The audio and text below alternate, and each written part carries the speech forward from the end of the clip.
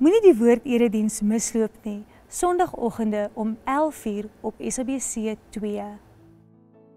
Om by te dra tot hierdie bediening, SMS die woord na 49724. Goeiedag en baie hartlik welkom by ons oordeenking. Baie bly dat u saam met ons ingeskakel het. So ons is so bietjie besig in die lydingstyd om te kyk sekere goed wat gebeur het. Ehm um, karaktereienskappe, karaktertrekke van Christus self. En vandag is ons so by 'n uh, hartseer ene. Jesus het gehuil. Ehm um, die skrifgie vind ons in Johannes 11 vanaf vers 35. Kom ek lees hom vir jou. Hy sê Jesus het gehuil.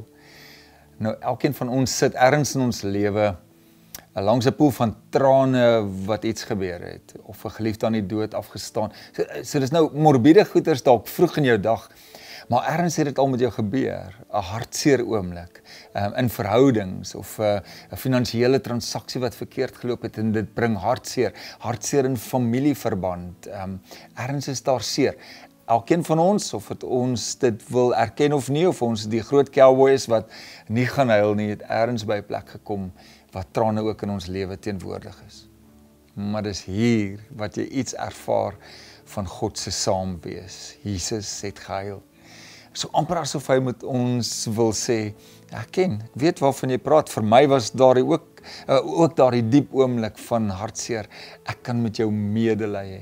Is dit nie die wonderlike ding van Jesus? In elke oomblik, elke pad van ons lewe dat hy sê ek stap saam met jou. Ek voel saam met jou. Mag jy in hierdie dag, in elke oomblik, as jy dalk bietjie teruggevat word na 'n oomblik van hartseer, net weet Hy stap saam met jou. Hy ken jou trane. Hy hy, hy sê hy's daar. Hy's saam met ons in ons nood en ons hartseer is hy by ons. Kom ek bid saam met jou dat jy vandag net sal weet in elke oomblik en in jou terugdink aan Jesus se pad van Jesus het ook gehuil en Jesus se hartseer dat hy saam met ons voel. Kom ons bid saam. Hemelse Vader, baie dankie vir u medelee met ons. Dankie vir u saamhuil met ons. En dankie dat ons in dit u vrede, u rus en u saligheid kan vind wat u vir ons gee. Lei ons in hierdie dag en mag ons weer vreugde ervaar van wat u eintlik in ons hart en ons lewe wil doen.